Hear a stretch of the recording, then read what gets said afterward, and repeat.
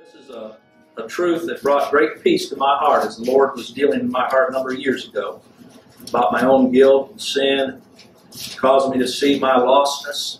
Uh, I'll tell you, Ephesians 1 6 brought some comfort.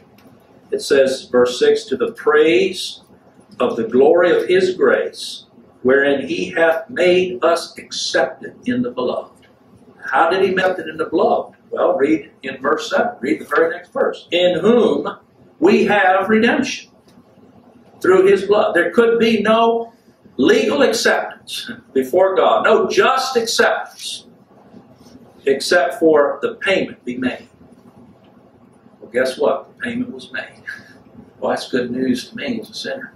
In whom we have redemption. Not shall have, but we have it. Through his blood, the forgiveness of sins. Where there's redemption, that means forgiveness of sins was accomplished. That's how we have acceptance. God no longer can look, God does not look upon me as a sinner, even though I know I am. He sees no sin in me. Why? Because Christ bore it all away. It's not because he's blind or hard of seeing. It's Christ bore it away according to the riches of his grace. So that's what it is to be complete in him.